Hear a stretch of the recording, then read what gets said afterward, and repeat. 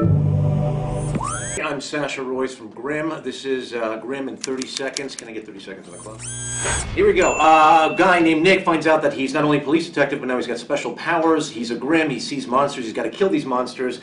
Uh, all of a sudden, um, his life changes. He tries to propose to his girlfriend. She says no because life is so messed up right now. He discovers his captain is actually a royal prince, and that makes a whole other headache. Then all of a sudden, a witch that he fights, he takes away her power. She comes back, puts his fiance to sleep for like a giant coma. Then she goes away. She comes back again. Then she takes away his powers, has a baby with me. The whole thing's messed up. I get shot. Season four.